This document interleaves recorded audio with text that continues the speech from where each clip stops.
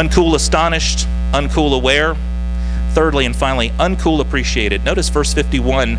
Then he went down to Nazareth with them and was obedient to them, but his mother treasured all these things in her heart. There's a tension between the house of Joseph and Jesus' true house in Jerusalem. It says here that he went home with them and was obedient. They didn't understand him, but he was obedient to them. Huh?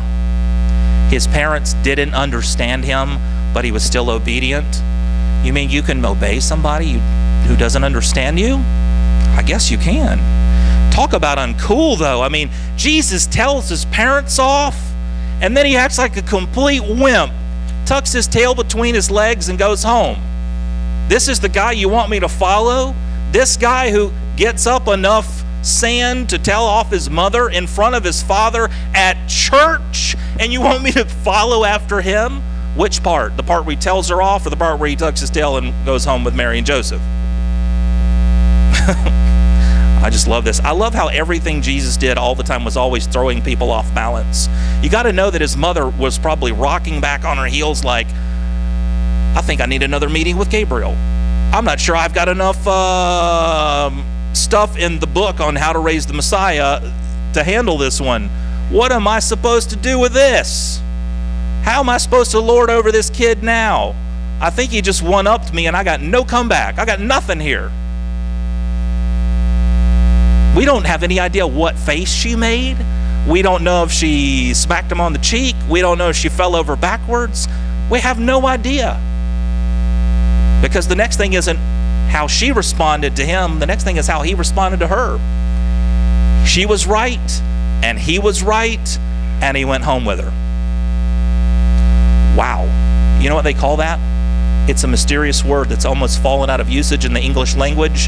It's invisible. You don't see it anymore because if you could see it, it would vanish in front of your eyes. Uh, it's called humility. That's what humility looks like. More finely tuned, it's really meekness. Jesus is powerful.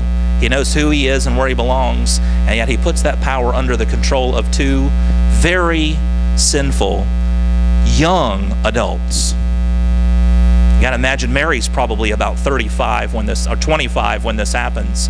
She's not some older woman with lots of years of wisdom. She's 25 years old. She's a young adult, and she's got Jesus to raise. And now they've been to Jerusalem, and they know that He knows.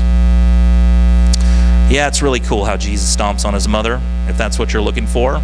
Or if you're a parent, you might say, look how submissive he was to his parents. He went home with them, but he didn't just go home with them for a year, he went home with them for 18 years. 18 more years before he started his public ministry. You think you think a 12-year-old who scored as big as he did with the old men in Jerusalem would be able to wait 18 long years to go back there and wow them again? Not a chance. Not a chance. Somebody would have it on YouTube trying to cash in on it for everything it was worth. Watch this 12 year old. I mean, there's one on YouTube right now of the five year old who preaches. You've seen it? Of course you have. People are saying, what a gift. To cash in, right?